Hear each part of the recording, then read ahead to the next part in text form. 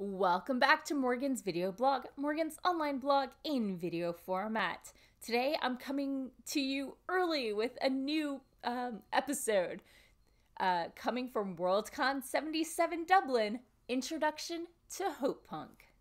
So, in a grim, dark world filled with politics, truth, and lies, um, many of us have been longing for a literary escape that can give us some hope. For this generation, Hope Punk is our answer. At Worldcon 77, Dublin, Jo Walton, Lettie Prell, and the creator of the term herself, Alexandra Rowland, on a panel moderated by the marvelous Sam Hawke, we discussed the true meaning of Hope Punk. So, first off, what is Hope Punk? After the term hit NPR and Vox, it started to shift from what was originally intended into something lighter and shinier. Luckily for all of us, we had the queener of the term there to set the record straight, aided by the creator of the SFWA Bulletin, formally acknowledging the genre. SFWA is Science Fiction Writers of America, SFWA, in case you didn't know. So, what is it? Uh, Hope Punk is the counter to Grimdark, which I already said. It is stories to support people. Uh, thirdly, the emphasis should be on the punk with a core strength of hope. Punk in its need to fight the man hope in its goal that we deserve a better world. I, I kind of want to repeat that. We deserve a better world. Fourth, Hope Punk is contemporary fantasy or near future. Um, fifth, its characters don't give up. They stand up, they resist, and they fight back. Sixth way to tell if it's Hope Punk the characters are just ordinary people who care. They're not superheroes, they're not the chosen one. They're someone who sees that there's a problem and stands up rather than waiting for someone else to take on the load. And finally, its characters don't have to win, but they do have to make a difference and offer hope for a better future. Now, some of you might be wondering why do we need a term for this? Why do we even need subgenres at all? Well, there are three reasons we need subgenres. First off, naming something defines it and the beliefs or the story expectations that go with it. Secondly, naming a genre lets people find more stories like it. And third, marketing. You knew that had to be in there somewhere. So, let's let's go back to that whole naming a genre means you can find stuff like that.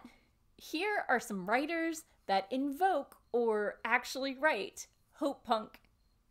Um, Ruthanna Emrys, Marissa K. Lingen, Ada Palmer, Alexandra Rowland, uh, Lettie Prell and her Crossing LaSalle, David Mitchell in his Cloud Atlas. Uh, note he writes plenty of stuff that isn't Hope Punk, so you got to be a little careful with that one. N.K. Jemisin's Broken Earth trilogy. Usman T. Malik's The Pauper Prince and the Eucalyptus Jinn.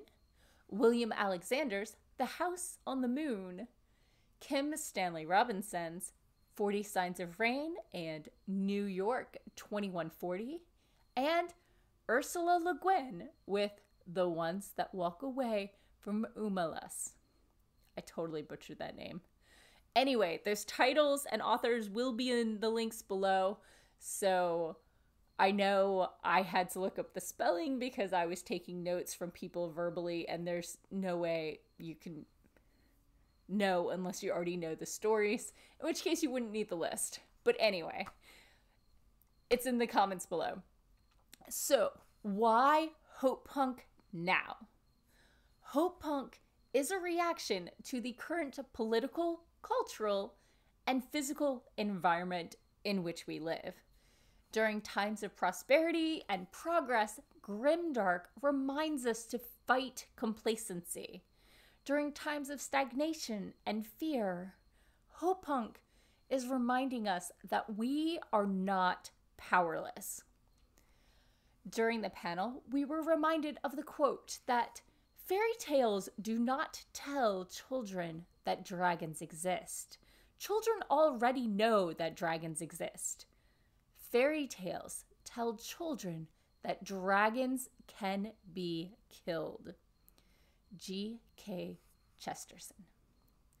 In Western culture, so often we consider literature more serious when it is cynical, ironic, and distant.